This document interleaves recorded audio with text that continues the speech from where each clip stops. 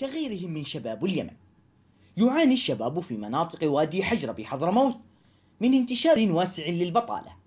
بشكل يتزايد يوما بعد آخر. في ظل تناقص فرص الحصول على العمل الذي ينحصر في الغالب على العمل بالزراعة.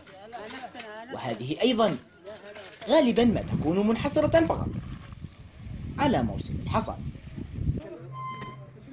فبالنسبة لهؤلاء الشباب فإن سنوات العمر تمضي.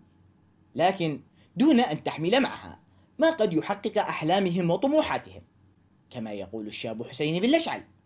أنا درست في معهد التقني الصناعي بخلف سنتين وتخرجت يعني من بعد التخرج لي الآن سنتين أو زايد بدون عمل في هذه المنطقة حقنا. وأكثر الشباب عندنا عاطلين عن العمل. وبرضه مش إلا أنا في شباب يعني من قبل يتخرجوا وقاعدين في المنطقة بدون أي فائدة يعني. فيما تزداد المخاوف من أن تؤدي هذه الأوضاع بالشباب إلى السقوط في أحضان العصابات المحلية. في ظل غياب أي دور للدولة في توفير فرص العمل واحتضان الشباب تبرز مخاطر سقوطهم في شباك العصابات المسلحة والمتطرفة مستغلة فقرهم وحاجتهم والفراغ الذي تركه غياب الدولة. فهل تستجيب الحكومة لدعوات انتشال الشباب من وحل البطالة قبل فوات الأوان؟ محمد اليزيدي لقناة بلقيس مديرية حجر.